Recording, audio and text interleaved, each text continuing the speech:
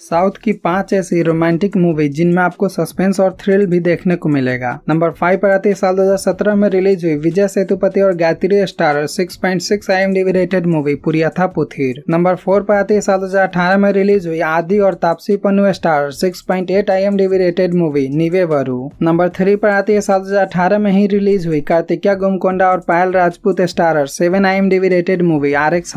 number two पर आती है साल दो में रिलीज हुई अल्लू सीरीज और सुरभि पुरानी के starrer seven I rated movie ओका कक्ष नाम और नंबर वन पर आती है साल दो में रिलीज हुई Shivaleeka Oberoi Vardhanpuri starrer seven point nine I rated movie Yeh Saali आशिकी अगर ये वीडियो आपको पसंद आया तो वीडियो को लाइक कीजिए और चैनल को सब्सक्राइब करना बिल्कुल भी मत भूलिएगा